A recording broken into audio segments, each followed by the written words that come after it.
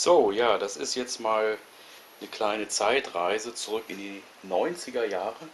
Das ist ein Business Notebook von Compaq, ein LTE 5280 inklusive Dockingstation. Damals für Privatleute unerschwinglich, da hätte man sich dann lieber ein Auto gekauft. Mit äh, CD-ROM und mit Diskettenlaufwerk und hinten mit LAN-Anschluss. Und äh, da kann man so wunderbare Spiele wie das alte SimCity mitspielen. Das ist ja das, die allererste Version.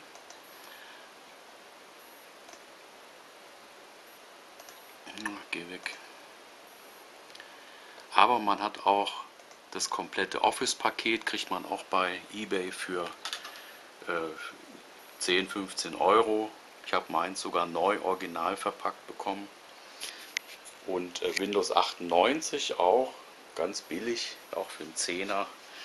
Und hier, dann bekommt man auch noch sowas Wunderbares, nämlich ein Psion Revo ist das hier, ein, na, das reflektiert so. Ein Organizer, auch damals richtig teuer, um die 700 D-Mark.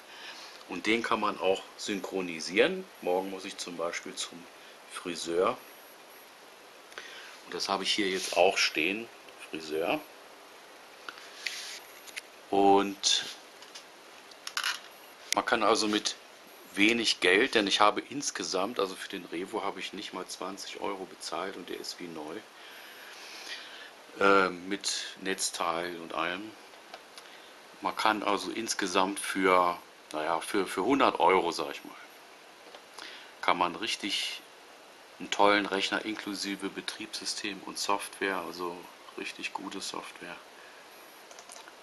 Das gute alte Word zum Beispiel, Excel und Access und so weiter. Kann man das bekommen und es läuft wunderbar, richtig schön schnell.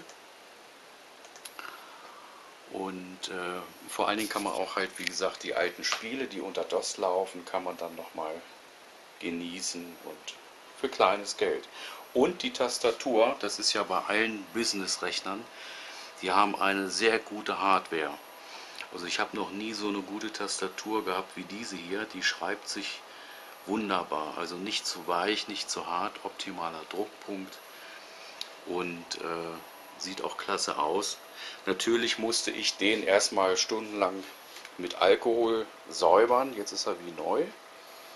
Aber der war richtig dreckig und hatte so Schabspuren, so schwarze, so irgendwo hängen geblieben oder so ähnlich. Und jetzt ist er halt tadellos sauber und da macht richtig Spaß. Hier hat er auch Infrarot hier vorne und auch diese alten Mäuse, die noch mit äh, Kugel, die, äh, da habe ich zwei Stück für 4 Euro bekommen. Nagelneu, original verpackt. Hm. Ja, das ist PCMCIA, aber 1.1, also das, das alte, also die neuen Karten passen da leider nicht. Die sind nicht kompatibel. Vielleicht kann man da irgendwie einen Treiber äh, noch besorgen. Schönes Gerät und verbraucht 28 Watt in der Dockingstation.